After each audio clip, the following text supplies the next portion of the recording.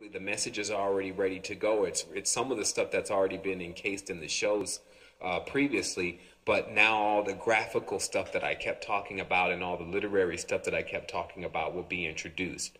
So the main thing about the new uh, the new uh, season is that we'll have more of a fluid system of communication and also transferring of data in real time, not only during the show but in between shows. So in a certain sense, we're more synchronistic because we're not missing a beat. And uh, and this I find to be awesome because I, I'm coming to con- I'm in, coming in contact with stuff, and it's just very rare to get a hold of many of these things. And you know, in real time, I want to be able to pass that knowledge to people. But we just recently went over uh, the entire, uh, if you want to call it, revelation of how all the stuff in the ocean, including the, the spores for the plants and all that kind of stuff, is the origins of much of what we're seeing on land.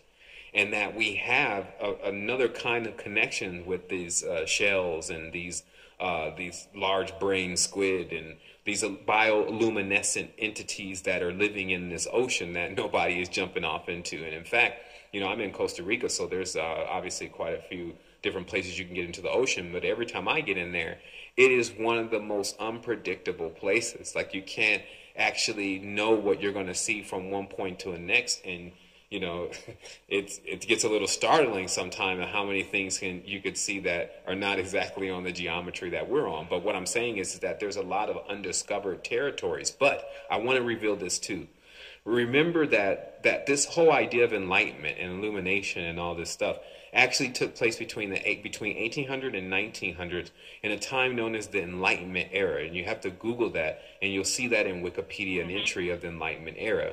And during this time, much of all of the knowledge and trinkets and relics and all this stuff that was in the world was sequestered by the king of Britain and many of the organizations that that were still the lineage of the pharaohs, etc.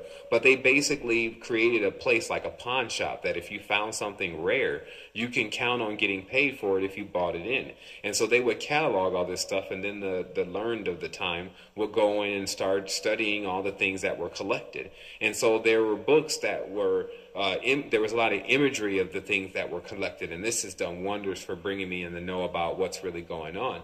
But I noticed that at a certain point, once a certain level of knowledge was figured out, the books were closed, and, and everything was was made, made hidden, and then the secret societies were developed. So re- realize that the the secret societies that you're dealing with today were they came after the enlightenment era because the individuals who had found out this knowledge about the ocean and about our real origins and all that, did seek after they discovered it to use it as a form of, uh, of uh, currency, a firm, form of energy, uh, harnessing a jinn, they would call it, meaning that being able to utilize the spiritual energy of an individual as a resource like oil.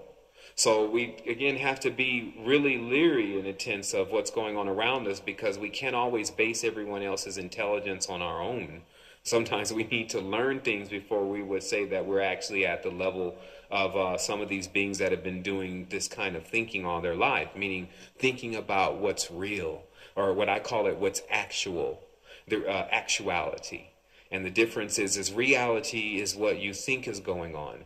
Actuality is what is actually going on. And it, it has a tendency to be two different things when you're in this kind of programs. But I know that we're going to be all right. Like, that's not something that I really question. We have an immortality, and that is something that we need to grasp by being awake, understanding that we can carry our existence and our memories that we have here beyond, meaning when you die, you can still have this if they're strong enough, if your core is tight enough, if your magnetic bind cannot be blown away by a cosmic wind. This means if something flies by that you think is more entertaining than you or more brighter than you, that you don't go and wander after it and serve it. Now, we're not saying that you can't join with other entities and share and, and, and, uh, and increase the level of light and increase the level of energy, but be very leery of other entities that just want you to endorse them or worship them, serve them, or basically delegate your energy to them.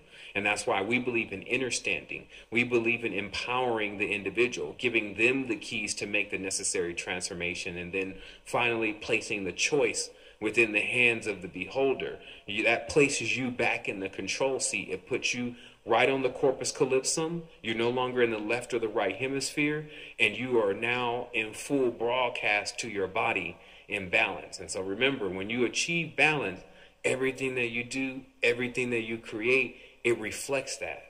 So until then, still it works like that. Everything we do, everything we create reflects what's going on inside of us. So we clean out the insides and we get the results that we're really looking for. It's that simple.